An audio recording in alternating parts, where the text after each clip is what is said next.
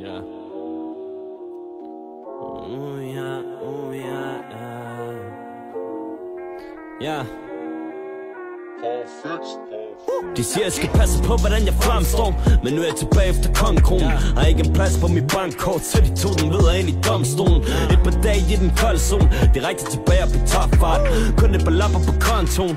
Men jeg har det som en rockstar. De rapper tror, de kan bedrage tonen Men jeg er tilbage fra afzone. Jeg rykker på det, mens de andre stadig hænger fast som den lille havfru Jeg har min dreng med mig om baby øh, Den der var der siden dage yeah så hvis du vil have det, kan de komme og tage det. Hele boksen snakker ligesom paludan. Der, det er den sande var, giv mig plads, man Jeg brænder varm, klap på kamp med Da du bedre, jeg er en gas, gasmask Den kommende alt for han i dansk rap Blæst op på lattergas.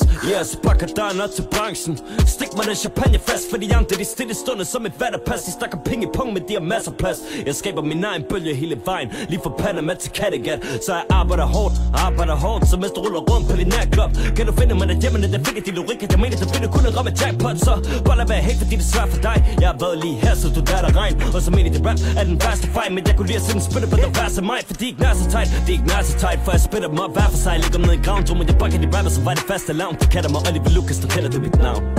Ja. yeah.